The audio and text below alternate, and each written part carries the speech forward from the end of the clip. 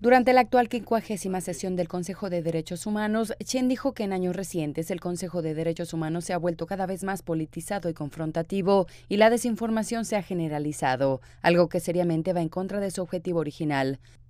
Chen dijo que todas las partes deberían promover el multilateralismo en el ámbito de los derechos humanos, defender los principios de la universalidad, la objetividad, la no selectividad y la no politización, y promover conjuntamente el desarrollo de la causa de los derechos humanos internacionales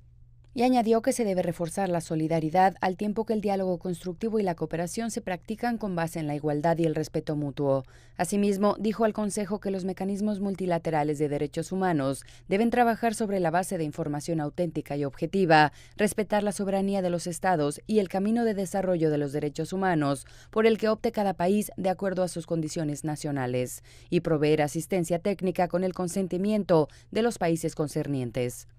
CGTN en español.